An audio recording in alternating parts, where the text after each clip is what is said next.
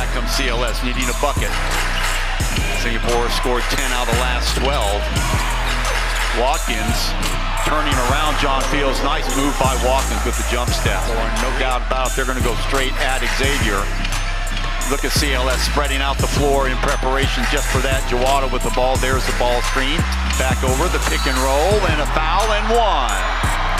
Showing the muscle and the flex. Darryl Watkins on a catch and finish.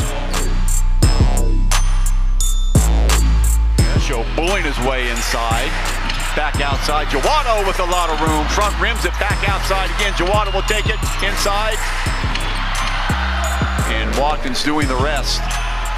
Watkins over to that right side. Oh boy, nice head fake giving up to Watkins with a finish. And you don't want to give up that baseline to Maxie Esho. And of course, you don't want Darryl Watkins to bring down the backboard with him. Yeah.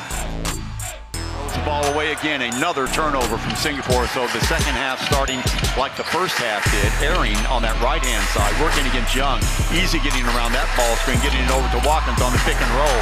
Up and in.